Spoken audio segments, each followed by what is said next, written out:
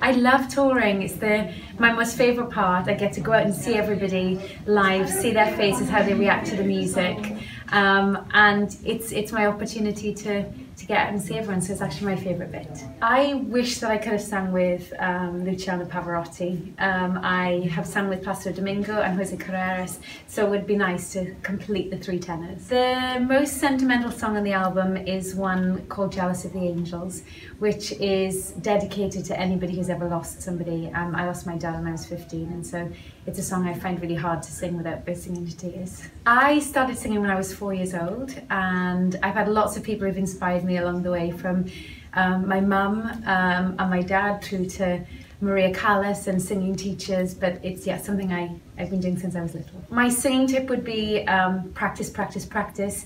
Do as much as you can from choirs, productions, competitions, just get as much experience as you can. Career highlight, I would say, would be going out to entertain the troops in Iraq and Afghanistan. Um, not something I ever thought of doing when I was little, but have been my proudest moments and the best experiences I've ever had. I was a judge on a show called Popstar to Opera Star and I really loved it because I was able to use my uh, all the things I've learned along the way and I used to be a singing teacher so I could pass that on. So if something like that came up again where I thought I could be useful then I would definitely consider it.